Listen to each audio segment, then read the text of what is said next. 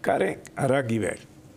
Karen, antes que entremos a lo más comentado, hay como un ambiente, como un desaliento que se refleja en manifestaciones de Twitter fundamentalmente, como, y por supuesto, lo que siempre ha utilizado Miraflores, arroparte, pegarte a la pared, etcétera. Acorralar.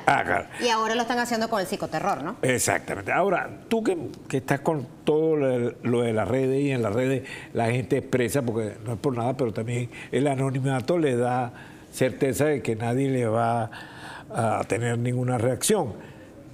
¿Cuál es tu análisis de ese ambiente? Bueno, ciudadano, y además diría yo, más que lo que comenta la gente en las redes, incluso con lo que podemos hablar con nuestra familia que está allá en, Venezuela, con los amigos que están en Venezuela. una de las, de las cosas fundamentales del mensaje de María Corina el día de hoy, que fue un audio de seis minutos y algo, era que hablaba de que la gente no se puede desanimar, no se puede desmoralizar. Por eso empezamos con el mensaje. Correcto porque justamente esa es la sensación que tengo durante el comienzo de esta semana, que la gente está un poco desmoralizada. Y ese es el objetivo de, de Miraflores. ¿Qué es lo que dice la gente? Exacto. ¿Qué es lo que dice la gente? Bueno, ya nosotros hicimos lo que teníamos que hacer, que era salir a votar. ¿Ahora qué? Porque la gente ahora se preocupa en cuál va a ser el efecto de esto. Ya se hablan de países reconociendo el, triunfo de Edmundo y posiblemente de sanciones por parte de la Unión Europea, que ya se pronunció, por parte de Estados Unidos, por parte de otros países, que ya en algún momento sancionaron al régimen de Nicolás Maduro y a sus cómplices. ¿Qué es lo que pasa? Que la gente dice, ahora lo sancionan a ellos, pero lo, que sufrimos, no somos nosotros. Y esa es la preocupación que hay en la gente. Pero el mensaje que hoy María Corina le daba a la gente es bien puntual porque ella dice, ya no hay vuelta atrás. Porque es por etapas, sí. Quizás es cansón, sí. Quizás la gente está desesperada porque han sido 25 años sumidos en esta. Y sintió que ya tenía el final y todavía va. Correcto. Pero hay que tener un poco de paciencia. Porque creo que ahora es fundamental tener esa paciencia que quizás hemos tenido durante tantos años, pero que ahora es necesaria. Porque estamos así, cerquita de conseguir lo que todos queremos. Como el tango, 20 años no es nada, febril la mirada. Por ejemplo, ¿qué hizo ayer justamente el régimen. Además del psicoterror, de que están montando las alcabalas para revisarle el teléfono a la gente, para asustar a la gente. bueno, temprano creo que Nerio lo ponía en, el espacio que tenía actualizando las noticias, un testimonio de una señora chavista, donde sus cuatro hermanos son chavistas y los metieron presos culpándolos de un delito que ellos no cometieron. Porque bueno, están agarrando gente para justificar, para hacer su show. ¿Y qué es lo que hicieron ayer con la declaración de este vocero del Departamento de Estado? El periodista le dice al vocero, ¿usted reconoce a Edmundo González como un presidente interino como pasó con Guaidó? Y ellos dicen, nosotros no reconocemos a Edmundo González como un presidente interino, porque no es un presidente interino.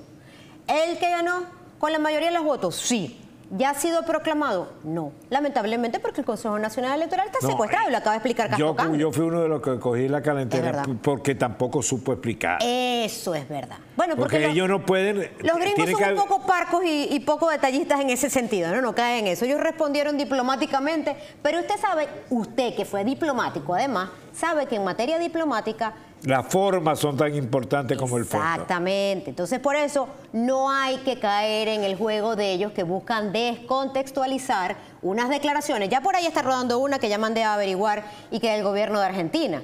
¿Y quiénes son los que salen a reseñarlo primero? Obviamente agarrando el sonido que a ellos les conviene las, agencias propagandísticas del régimen. Bueno, porque ese es el juego de ellos. Eso es el juego de ellos. Mientras tanto, ¿qué es lo que está pasando en Venezuela? Vamos a ponchar el tuit de Provea, porque ya nos vamos, pero rapidito.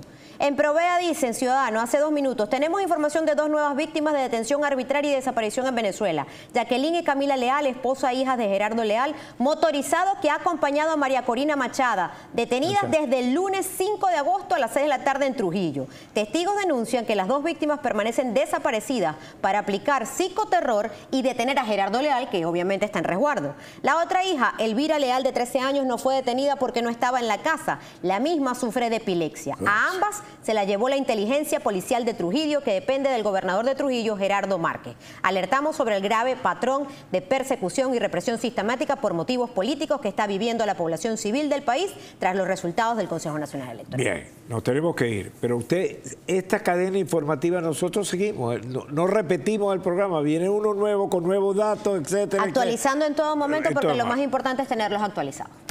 Nos vamos. Este programa fue presentado por Aloft, Coral Gables. EBTV Store, la tienda virtual de EBTV para ti.